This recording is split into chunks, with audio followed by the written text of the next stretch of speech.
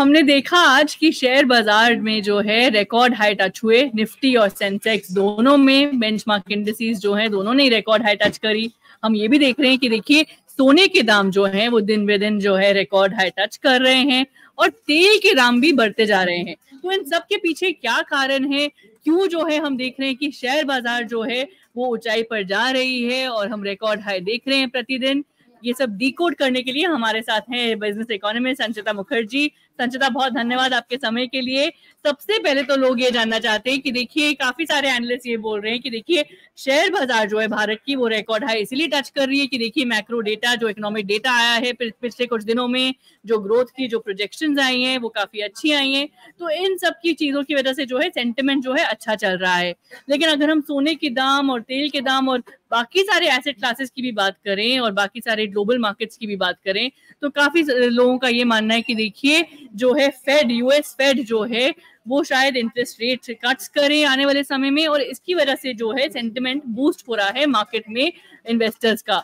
Uh, बिल्कुल जैसे आपने बहुत अच्छी तरह से समझाया इंडिया का जो इकोनॉमिक डेटा है जो मैक्रो डेटा है और स्टॉक मार्केट शेयर बाज़ार का जो अर्निंग्स कंपनीज़ के जो अर्निंग्स आ रहे हैं वो काफ़ी स्ट्रॉन्ग आ रहे हैं इन द इमीडिएट कॉन्टेक्स्ट अभी जो uh, जितने भी रिजल्ट्स डिक्लेयर हुए हैं काफ़ी स्ट्रॉन्ग है। इंडिया uh, में credit growth all time high पे है। कंपनीज़ uh, के जो अर्निंग्स ग्रोथ जो प्रॉफिट आफ्टर टैक्स जो एबिटा जो डिक्लेयर हो रहे हैं जो मार्जिन बताए जा रहे हैं जो वॉल्यूम दिख रहे हैं वो काफ़ी स्ट्रांग है। जीएसटी कलेक्शन बहुत स्ट्रांग है। uh, इसमें एक प्रॉब्लम है कि यस आपने जैसे बोला वेरियस फैक्टर्स को लेके ऑयल प्राइसेस अगर इस इस रेट से ज़्यादा बढ़ती है तो it is a net negative क्योंकि हम इम्पोर्टर्स हैं ऑयल के राइट? और फंडामेंटली जो ग्लोबली जो डेटा आ रही है वो भी काफ़ी पॉजिटिव कॉन्फिडेंस के साथ आ रही है जैसे कि आपने जैसे मेंशन किया जो यूएस फेडरल रिज़र्व है एक्सपेक्टेशन uh, है कि इस साल वो भारी मात्रा में रेट कट करेंगे क्योंकि उनका ग्रोथ रिसेशन में नहीं कन्वर्ट हुआ है ग्रोथ है अनएम्प्लॉयमेंट भी लो है बट इन्फ्लेशन भी उनका मैनेजेबल है। तो उनका एक्सपेक्टेशन है कि रेट कट करेंगे तो वर्ल्ड ओवर में डॉलर लिक्विडिटी फिर से आएगी। इसलिए लोग इक्विटीज रियल एस्टेट वगैरह में इन्वेस्ट कर रहे हैं राइट सेंट्रल बैंक्स गोल्ड में इन्वेस्ट कर रहे हैं, इसलिए गोल्ड की प्राइसेस रैली हो रही है। गोल्ड में क्यों इन्वेस्ट कर रहे हैं सेंट्रल बैंक क्योंकि वॉर्स चल रहे दो। सो जियो पोलिटिकल रिस्क जो है उनको हेज करने के लिए जो सेंट्रल बैंक्स है हमारे आरबीआई की तरह वो लोग गोल्ड में इन्वेस्ट कर रहे हैं। चाइना uh, के भी एक्चुअली नंबर्स अच्छे आए हैं। तो वो भी ये सारा सब चीज़ें इम्पैक्ट करती है इंडियन शेयर बाज़ार को भी। सो so, चाइना का ग्रोथ अगर अच्छी आती है तो uh, इसमें संभावना है कि वहाँ पे भी फोकस जाए जो लोग इन्वेस्ट करते हैं ग्लोबली सो इंडिया का जो ग्रोथ है, वो बहुत स्ट्रॉन्ग है, क्योंकि जो इकोनॉमिक रिफॉर्म्स है, वो देखने को मिल रही है in terms of infrastructure physical assets जो क्रिएट है, जो रोड्स पोर्ट्स वगैरह इंटरनल वाटरवेज जो दिख रहे हैं। जी, बिल्कुल। लेकिन जो लोग घर बैठे ये जानना चाहते हैं कि देखिए, क्या समय आ गया है कि हम इन्वेस्ट करें और हम कहाँ पर इन्वेस्ट करें? अभी अब जैसे कि आपने समझाया कि सारे ही एसेट क्लासेस जो हैं, कहीं ना कहीं इम्पैक्ट हो रहे हैं, अच्छी परफॉर्मेंस क्यों हो रही है इनकी? आपने अच्छे से समझाया कि देखिए, तेल के दाम, सोने के दाम और शेयर बाज़ार में हम ये ऊंचाई क्यों देख रहे हैं? लेकिन जो लोग घर बैठे ये जानना चाहते हैं कि देखिए, हम अपना पैसा कहाँ इन्वेस्ट करें? हम कहाँ पर इन्वेस्ट करें? इक्विटी मार्केट में देखें कि बाकी एसेट क्लासेस में क्या देखें तो उनको आप क्या कहना चाहेंगे? उनको मैं यही कहना चाहती हूँ ये जो आ, है ये इन्वेस्टमेंट निवेश का एडवाइस बिल्कुल नहीं है। उनको अपना खुद जानना चाहिए कि उनका रिस्क रिटर्न एक्सपेक्टेशन क्या है उनका रिस्क प्रोफ़ाइल क्या है।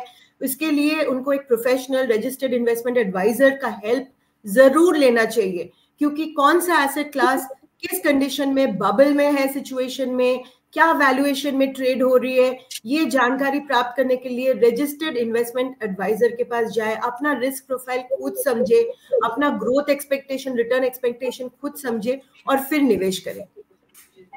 जी, बिल्कुल।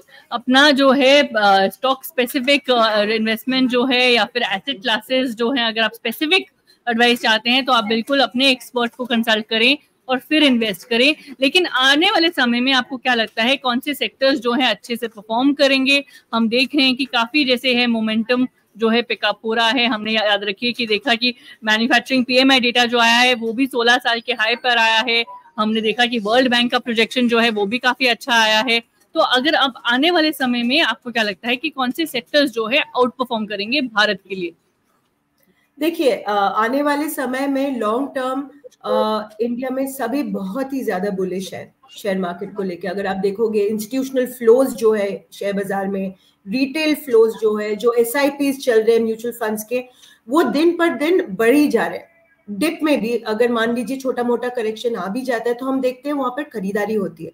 क्यों? क्योंकि कॉन्फिडेंस बहुत ज़्यादा हाई है। और इंडिया में जो आ, हुआ है वो थोड़ा यूनिक है। क्योंकि लास्ट दस साल अगर आप देखोगे, पंद्रह साल, बीस साल, उसमें कंजम्पशन का बहुत बड़ा ट्रेंड था राइट सो कंजम्पशन से शेयर बाज़ार अच्छी तरह से चल रही थी। अभी क्या हुआ है लास्ट टेन इयर्स में जो रिफॉर्म्स हुए इंडिया में इंडियन इकोनॉमी में, उसमें काफ़ी फोकस किया गया है मैन्युफैक्चरिंग पे फ़िज़िकल एसेट क्रिएशन पे इंफ्रास्ट्रक्चर पे।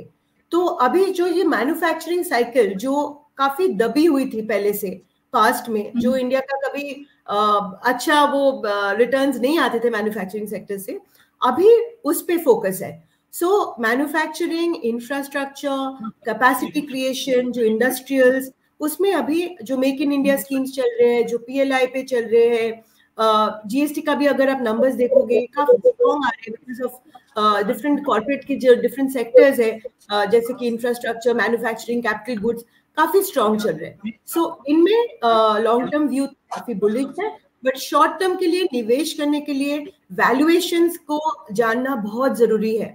अपना खुद का रिस्क प्रोफ़ाइल और वैल्यूएशन उसके लिए एक्सपर्ट एडवाइस लेना बहुत ज़रूरी है। जी बिल्कुल। बहुत धन्यवाद। आपने बहुत अच्छे से समझाया हमारे सभी दर्शकों को कि आगे जाके जो है क्या जो है मोमेंटम लॉन्ग टर्म में पिकअप हो सकता है और शॉर्ट रन में उनको एडवाइस लेकर कैसे इन्वेस्ट करना चाहिए। बहुत धन्यवाद आपके समय के लिए।